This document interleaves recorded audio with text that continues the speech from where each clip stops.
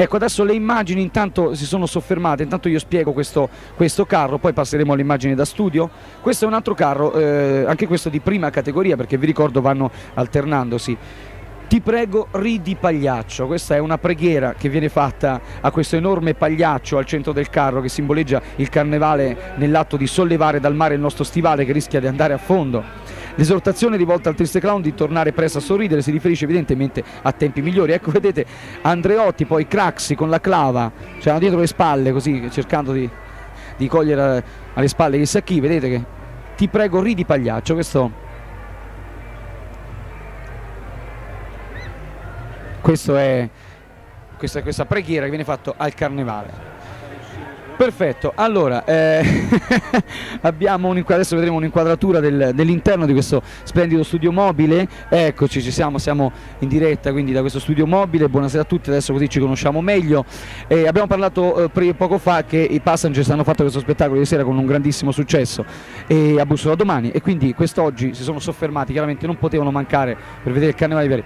Allora, vediamo un po' eh, di poter fare eh, due chiacchiere con eh, Chuck, Chuck, piacere Chuck, e Mary, Mary e Mary, conosco, Amanda, fotomodella, non fa parte dei passengers. Perché, ecco, perché sai questi, sì ecco, stavo avvicinando, sai perché ti, volevo, ti ho chiesto chi era lei? Perché sappiamo che nei gruppi sono sempre degli sconvolgimenti e pensavamo che magari fosse entrata. Eh, lui...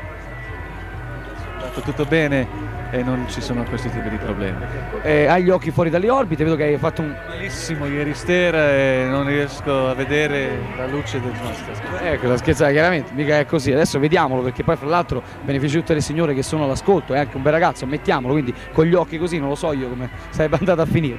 Allora, parliamo un attimino prima di passare al carnevale e come vedete voi il carnevale. Innanzitutto raccontaci eh, qualcosa dello spettacolo di ieri sera, avete avuto un grande successo, questo lo sappiamo, eh, tornerete presto. È stato un spettacolo per noi un po' più impegnativo perché stiamo montando più scenografie di, di prima e cercavamo di fare dei, del, dei, balletti nuovi che non avevamo mai fatto. Allora è stato un, un primo per noi come, come adoperare le cose. E niente, il locale è molto bello, il pubblico mi hanno detto che era un po' disperso da tutto Viareggio, abbiamo avuto un pubblico var vario e non, non, non, pieno pieno ma così bene, è andato bene sono contento per voi. Mary, e tu conoscevi il carnevale di Viareggio prima di venire in Italia e fare questa grande carriera artistica che hai fatto?